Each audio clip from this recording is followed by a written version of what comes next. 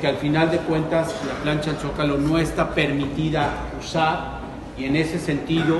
eh, vamos a estar muy pendientes con la Secretaría de Gobernación para que exhiba los permisos correspondientes, porque al final de cuentas eh, se ha en reiteradas ocasiones negado el asunto de usar la plancha del Zócalo para cualquier tipo de eventos y lamentablemente el fin de semana vimos que se hizo algún evento de índole político y que al final de cuentas se ocupó la plancha del Zócalo para hacer dicho evento. Puntual